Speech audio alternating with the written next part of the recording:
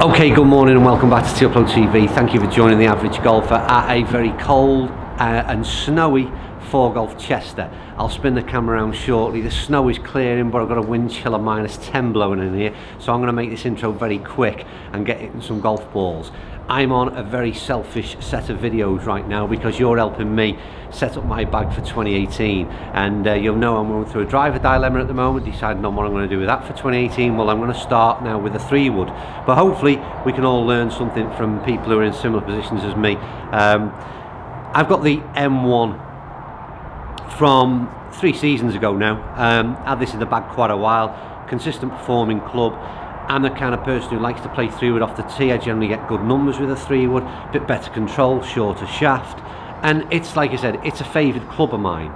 However, a week or so ago, I hit the Callaway Rogue three wood. I didn't put that video out. I didn't get to complete that video in terms of um, putting out to uh, editing it. So I thought, right, I'm going to pitch them up into a head-to-head -head and see how they, they perform on this day this morning swing, how do they perform? Because I really thought it was a standout product, and one of the numbers I was achieving, I thought, wow, this is this is another one that I potentially look to make a swap from. Got to be an expensive exercise, don't get me wrong, but um, I like it. Let's see how it performs, like I said, on a very cold and miserable day. I need to warm up, there's no doubt about that. Not expecting to swing speeds to be flying right now, but uh, we'll move camera I'll hit some golf balls and I'll see if there's any persuasion that this could be a potential move from my M1 into the Callaway Rogue for the 2018 season. Let's go and have a look.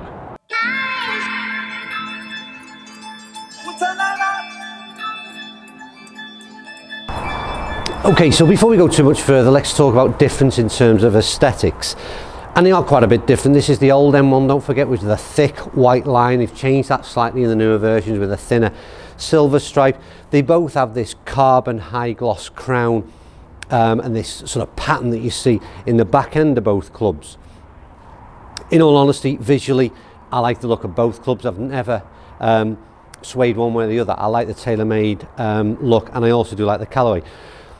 One thing I like about this Callaway in terms of where it's looking from from above, and I'll see that in terms of the face, is it's got a sort of it's a shallower face and when I put them uh, sort of side by side the height of the face on the Callaway is certainly uh, lower and it sits sort of flatter and more elongated and I'll show you that camera view from the top as what I'm looking at now. I always like the Callaway chevron in terms of the um, the sort of marking clearly marking the centre of the club where you're liking to line the ball up from you see a bit more face with the oddly enough with the kind of white stripe I think it sits out the face more on the um, on the TaylorMade product. But again it's all about personal preference at address. People already know I'm not fond of the turquoise looking shaft. It reminds me of a, a shaft that you'd see in ladies clubs. But other than that I think like I said most both clubs very appealing. I'm going to play these balls from a tee peg because I like again I'm testing it from me considering playing off of a tee. But I would also be interested to take these out on the fairway because once again, sat behind the ball, the sort of slimmer, more slimline version of the Callaway is more appealing to me on the eye. But again, once again, very much a personal thing. Anyway, I can't talk for much more longer. I'm, I'm, uh, I'm struggling as it is, as you can tell. I'm going to get in some golf balls. I'm going to start off with giving this Callaway Rogue a bit of a bash.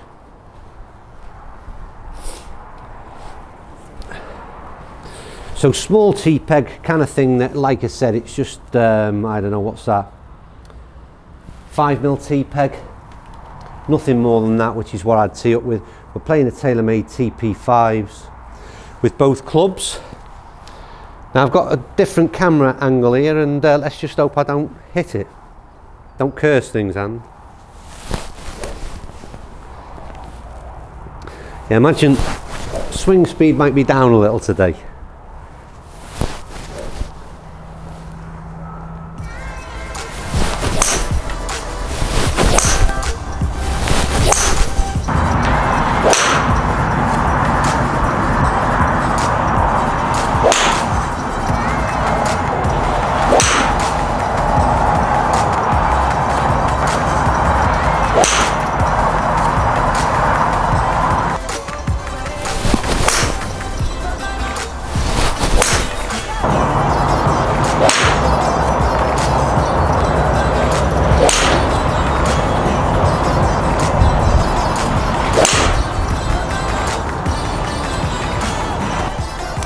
Okay, so that's golf balls hit. I'm not going to sit back down. I'm going to grab the numbers off my phone in a minute because, uh, believe me, it's too cold to sit down. Uh, so I'll keep on a slight move here. Um, first things to note, just I just said to someone actually about the numbers. How did it? Asking me how did it get on? Who works here? And I said straight away, I don't really need to see the numbers. You can see once again ball flight, where that ball is carrying to and more interesting enough on this particular test and don't forget it's only a very small set of uh, shots. So always um, subjective I suppose. Um, but straight away there's a lot more consistency coming out of the Rogue in terms of where I was at least hitting the ball. The other big thing I would say noticeable which I preferred as well but again it's a personal thing is the sound which for me resonates in what I would call feel. Um, love the sound out of the Rogue. Um, a bit more, let's see the difference. This was a softer feel, whereas this was a much more uh, sort of powerful, um, louder noise that came off of the M1. And like I said, I love the softer feel and the softer noise, in fact, of the Rogue. So straight away, I'm liking this club anyway, and that's why I've pitched it into the head-to-head, because like I said, it's a very uh, selfish video. Um, but I really want to see in numbers what it did in terms of performance. So enough waffle. Let's get in and see if my eyes at least um, agreed with what comes out in numbers. So here we go numbers on screen now. Okay so let's start off with the numbers um, of the my, my own club the M1 um, decent club head speed 93.9 and we managed to get well I actually swung it slightly slower interestingly enough with the three wood uh, with the Rogue three wood. Uh, but 93.9 um, club ball speed 134.7 spinning at 3-3, carry 2-4. The numbers all fairly consistent as well. Uh, second shot wasn't too good, carried at 194 and again high spinning um, and I would imagine uh, higher launching, which it was. Um, overall distance 225 launching at 11.6 kind of numbers, don't forget, I don't think it's the best I've ever hit the ball this morning. I was striking the ball reasonably well. It is a little bit uh, cold, as I said in here, and rhythm not being its best. So maybe a little bit erratic, but more than happy and with the numbers that I got there. And uh, as I said, now going into these Rogue numbers, which are coming up on screen for you now, the interesting thing straight away, and I think a big telltale sign of the difference in technology and club heads and club faces is once again 92 club head speed. So we're uh, what are we full mile almost two mile an hour slower in swing speed 137 ball speed. So three mile an hour faster in terms of ball speed. Straight away that's a, an impressive and telltale sign for me. Spinning again lower spinning 2-6 launching higher, lower spinning, longer carry.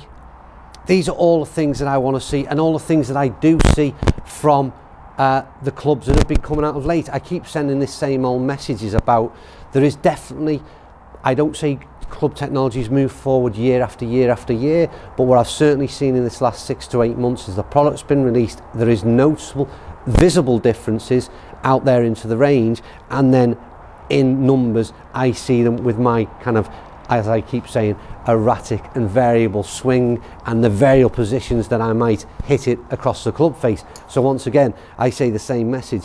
If you're consistently finding the bang centre of a club between the M1 and the Rogue, maybe there wouldn't be a great deal of difference. But when you've got a strike pattern like mine, and maybe like yours, which might be right across this club face, then the Rogue, or in this case, and in other cases, um, the, the forgiveness is certainly assisting with off-centre strikes. That's the biggest thing I'm finding. And once again, look at this dispersion that I'll throw up now. You can see once again where them balls are going. And there is a lot, lot tighter dispersion on the Rogue as well. And like I said, it may well be there's a couple of clubs in the mix for me because I'm a big fan uh, of the M4. Didn't get on with the M3 as much in terms of the fairway. Um, that's maybe another head-to-head -head I'll have a look at on my own little personal um, mission to find a new three wood. But anyway, that's me done. I'm going to go inside for a little while and warm my hands up before I attempt video number two. Thanks for watching.